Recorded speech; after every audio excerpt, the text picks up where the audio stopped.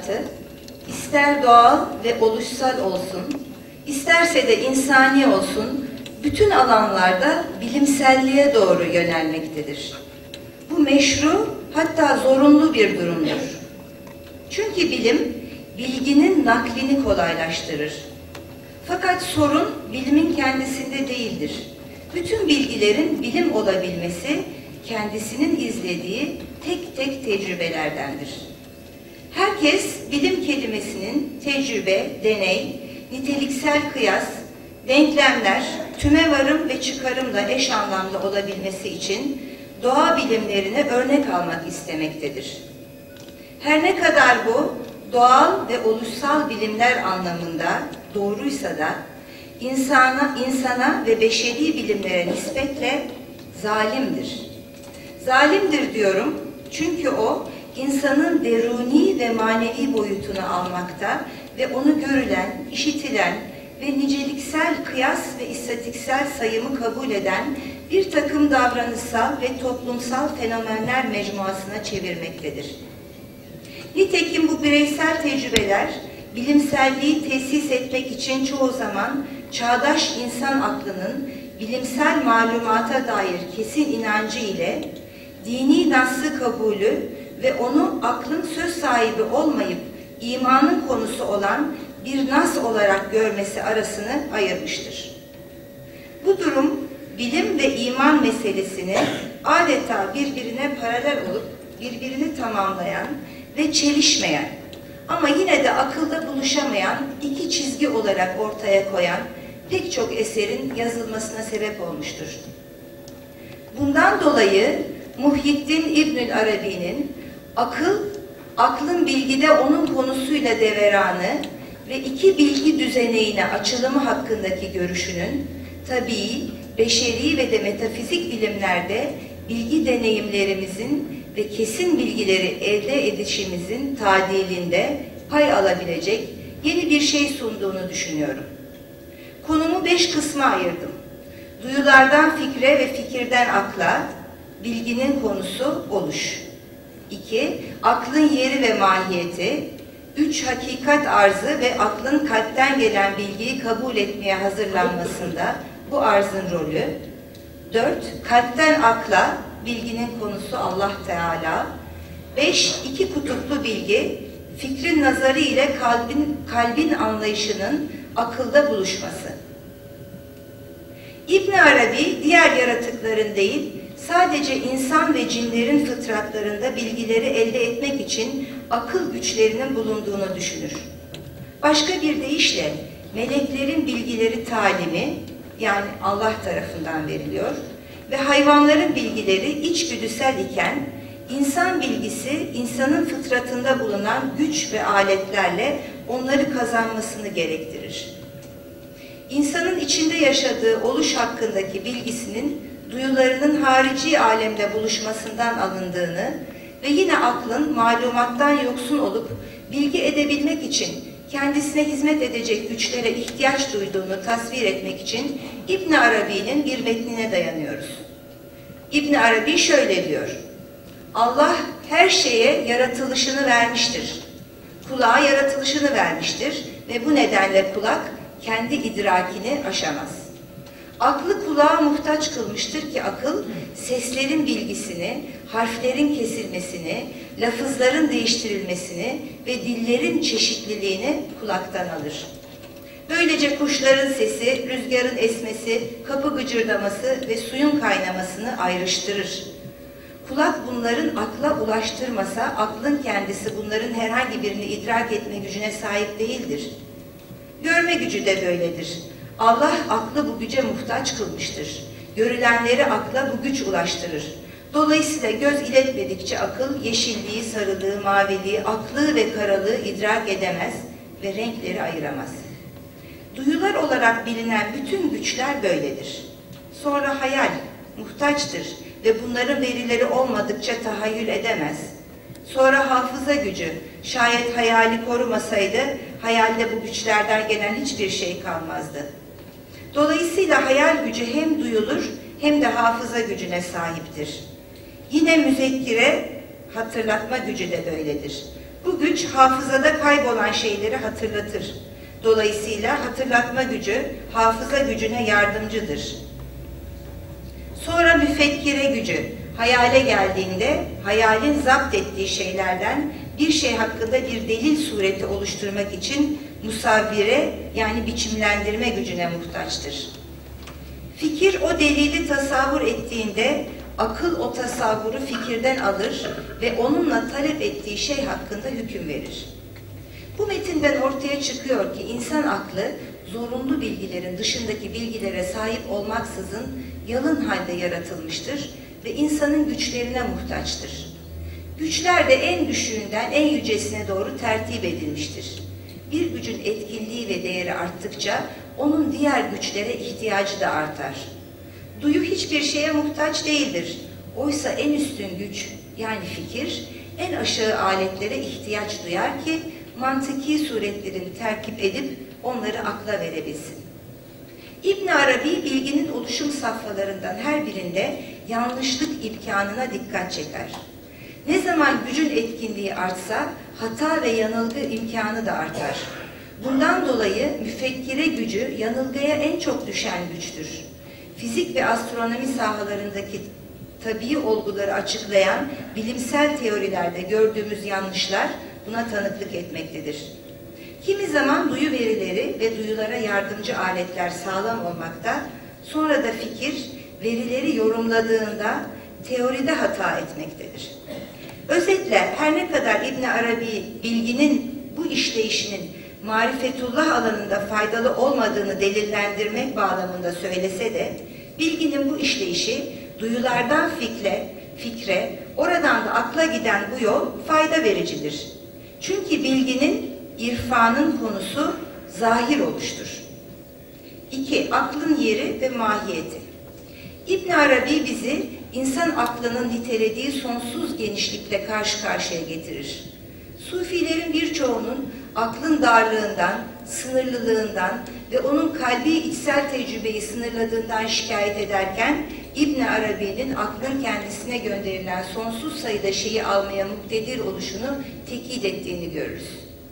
İbn Arabi nezdinde aklın mahiyetinin açıklanması için akıl ve fikir karşılaştıracak ve aklın bilgi aygıtındaki yerini ve ona malumatı göndererek idrak güçleriyle ilişkisini belirleyeceğiz. Akıl ve fikir. İbn Arabi fikrin veya müfekkire gücünün vazifesini duyuların veya dini nasları ulaştırdığı tikel malumatı toplayan ve onlardan da özdeşlik prensibi arazın kendi başına değil cevherle var olması, bir cismin aynı anda tek mekanda bulunması, iki zıttın tek bir zatta bir araya gelememesi gibi formel mantık kurallarına dayanarak dahili bir çelişkiden arınmış, yetkin bir teori oluşturan güç olarak açıklar. Bu müfekkire gücünü Allah diğer idrak güçleri gibi aklın hizmetine vermiştir. Bu nedenle o elde ettiği düşünceleri akla gönderir. Akıl da onları kabul eder veya reddeder. O halde İbn Arabi'ye göre akıl ve fikir iki farklı güçtür. Onlardan birincisi ikincisinden üstündür. Fakat maalesef tarih boyunca büyük bir ayrışma ortaya çıktı. Çünkü aklın fikrin düşüncelerini sürekli olarak kabulünün neticesinde filozoflar, alimler ve insanlar akıl ve fikri tek bir şey zannettiler. Hatta bazıları aklın mantıkla kayıt altına alınmış ve nazarileri intaç eden fikirden daha fazla bir şey olmadığını zannettiler. İbn Arabi'nin sunduğu bu mühim tenkit, aklın bağımsızlığına dönmesi ve fikrin kendisi üzerindeki tasallutundan bağımsız olarak vazifesini yerine getirmesi için fikrin akılla bağını çözmeyi hedeflemektedir. Akıl, fikrin tasallutundan kurtulduğu zaman fikirden ya da başka güçlerden gelen malumatı ya da bilgileri almak için sınırsız kabiliyetine tekrar döner. İbni Arabi şöyle diyor, aklın bir sınırı vardır ve akıl, kabil olması bakımından değil de düşünen, müfekkir olması bakımından o sınırda durur. Müfekkire gücünün akla tasallutunun tenkidinde İbn Arabi'ye tabi olduğumuzda onun müfekkire gücünün özellikle ilahiyat sahasındaki yanlışlıklarının çokluğuna dikkat çektiğini görürüz. İbn Arabi şöyle diyor. İster filozof, ister mutezili, ister eşari, isterse de istidlal taraftarı başka gruplardan olsun, fikir ehlinin ilahiyat sahasındaki hatası doğrusundan çoktur. Filozoflar sadece bu isim nedeniyle yani felsefe ismiyle kötülenmediler. Onlar metafizik ilminde peygamberlerin getirdikleriyle çelişen hatalardan dolayı kötülendiler. Onlar peygamberliğin aslı ve peygamberlik hakkında kendi delillerinde yanlış fikrin sonuçlarıyla verdikleri hükümlerden dolayı bu hatalara düştüler. O halde İbn Arabi müfekkire gücü kendi kurallarıyla dini naslar hakkında hükü vermek amacıyla bilgi sahasını görünen zahir oluş açtığı zaman onu eleştirmektedir. İbn Arabi'nin hem mutezileyi hem de eşarileri aralarındaki ihtilaftan dolayı tenkit ettiğini görürüz. Çünkü onun tenkidi bilinenin kendisinde değil, bilgi metoduna ve intaç yoluna yöneliktir. Müfekkire gücünün İbn Arabi'nin onu hangi bakımdan eleştirdiğini aydınlatacak bir etkinliğine örnek verelim. Müfekkire gücü mesela insan iradesi konusunda bir teori oluşturmak için Kur'an'a baktığında insanı mecbur ve muhayyer, hür görmek arasında bir yerdedir. Delilleri topladığı ve insanın cebr altında olduğunu tercih ettiğinde insanın hür olduğuna delalet eden ayetlerin tamamını tevil ettiğini. Tersini tercih etmişse tersi olur. Bunun sebebi fikri mantığın kurallarının zıtların bir araya gelmesini ve böylece insanın aynı zamanda hem mecbur hem de muhayyer olduğunu kabul etmemesidir. Kalbin şeklini elde etmek için İbn Arabi'nin metinlerini incelediğimizde görürüz ki, görürüz ki kalp dörtgen şeklindedir, bir ev biçimindedir. Pürüzsüz aynalardan oluşur ve dört rüknü vardır. Onun her rükün için bir hatır, kalpte beliren anlam, bir çeşit ilham olmak üzere dört hatırı vardır. İlahi hatırlar, meleki hatırlar, nefsi hatırlar ve şeytani hatırlar. Bu dört düşünce kalpte yer alır. Ancak nebiler şeytani düşüncelerden arınmış olduklarından diğer insanlardan farklılaşırlar. İbni Arabi şöyle diyor. Nebinin ancak üç hatırı vardır. İlahi, meleki ve nefsani. Kalbin doğuşu.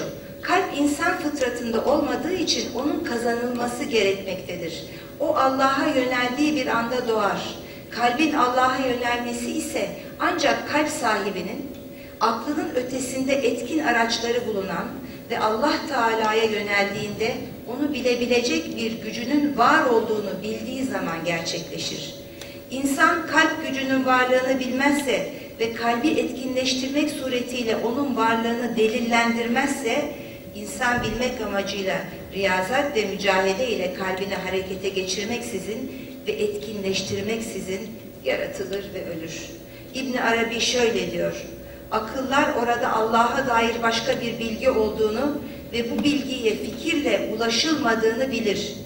Bu nedenle riyazetleri, halvetleri, mücahedeleri, masivayla alakanın kesilmesini, infiradı, mahallin boşaltılması suretiyle Allah'la birlikte oturmayı ve şayet kalp fikirler ve oluşlarla ilgiliyse kalbi fikir kirlerinden arındırmayı kullanır. Kalbi bilginin temel şartı kalbin tamamıyla Allah'a yönelmesi ve oluşsal alakalardan çıkmasıdır. Böylece kalbe gayb alemleri açılır ve gücü yettiğince bilir. İbni Arabi şöyle diyor. Kalpte şehvet varken oluş ve marifetler kapısının açılması imkansızdır. Bu melekuta ait Allah'ı bilme kapısı ise kalpte mülk ve melekut olmak üzere alemin tamamına yönelik sevgi varken müşahede eden kimseye açılmaz.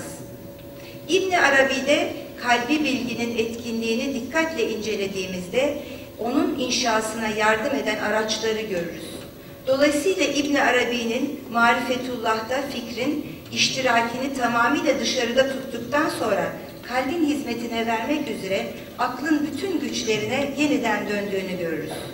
Duyuların sınırlı insan gücüyle etkinlikte bulunduktan sonra ki insan sınırlı duyma gücüyle duyuları duyar, kayıtlı görme gücüyle görülenleri görür, hakla duyar, hakla görür hale gelir, bu nafilelerle yaklaşma makamıdır. Musabire ve muhayyile güçleri vehmi ve taklitçi neticeler üretme halinden etkin ve yaratıcı neticeler üretme haline geçer. Musabire gücü unsurlarını ve parçalarını duyulur alemden aldığı anlamların tasviriyle yetineceğine, gaybın anlamlarını ve duyulur tecrübesinin çerçevesinin dışında kalan anlamları tasvir edebilecek hale gelir. Hayale ve muhayyile gücüne nispetle de durum böyledir. O, fikirde olduğu gibi öncülerin tertibi ve delillerin düzenlenmesinden intihac edilmez. İbn Arabi, fehmin de şeriat gibi nazil olduğunu haber vererek şöyle diyor. Nasıl ki kitap Allah tarafından peygamberlerin, peygamberlerin kalplerine indirildiyse, anlayış da Allah tarafından ona inanan bazı müminlerin kalplerine indirilmiştir. O, Allah'ın bu Kur'an'da dilediği kullarına verdiği bir anlayıştır.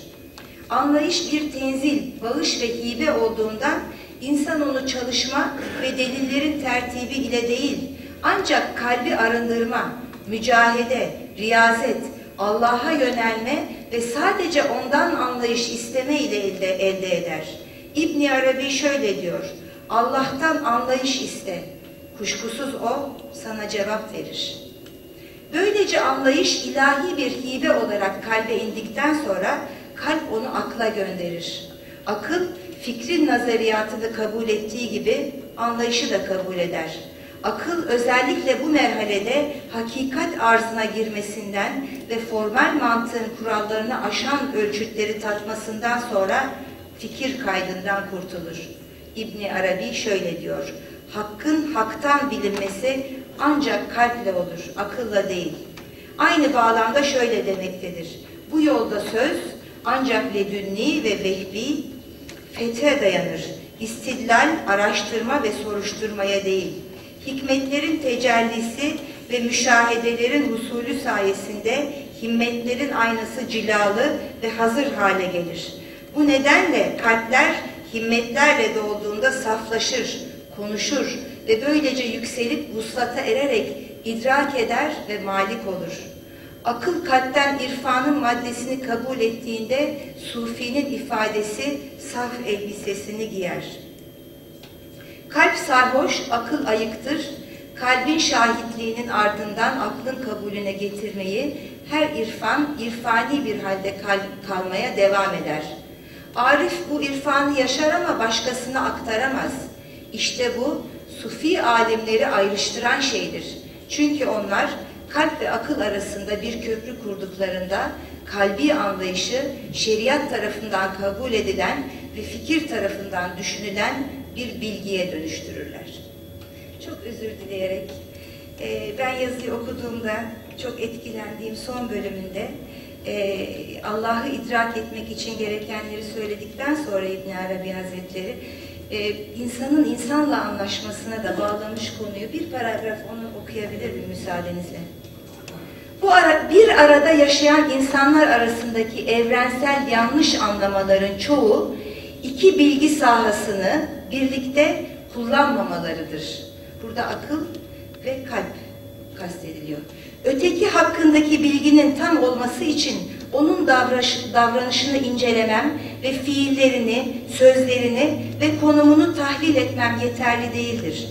Bu durumda zannediyorum ki o fikri, nazeri, dışsal, soyut bir bilgiden ibarettir.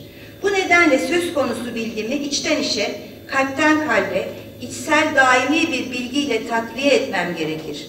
Dışsal fikir ve içsel fehim olmak üzere her bilgiyi kullanarak anlama genişliğine ve ötekini kabule varmak için ötekiyle empati kurma ve onun kendisine ilişkin söylediklerini kalbimle karşılamaya hazırlık olma ve fikir bağını ve katı mantık kurallarını uzaklaştırma üzerinde yoğunlaşarak ötekini olduğu gibi bilirim.